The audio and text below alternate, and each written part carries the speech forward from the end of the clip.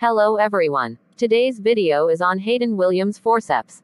Hayton Williams forceps is an instrument of fracture reduction for mid-face fracture.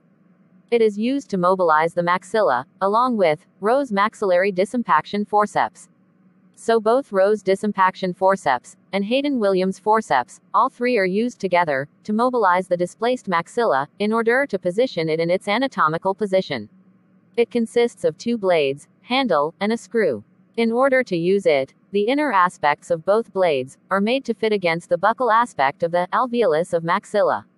Pressure is directed towards the midline via both the blades for approximation of the bones. A screw is present at the top to prevent crushing of the bone. With this firm grip, the maxilla can then be brought into its correct position. And subsequently, fixation will be done with titanium plates and screws. Well okay. That's all for this video. Hope you all liked it.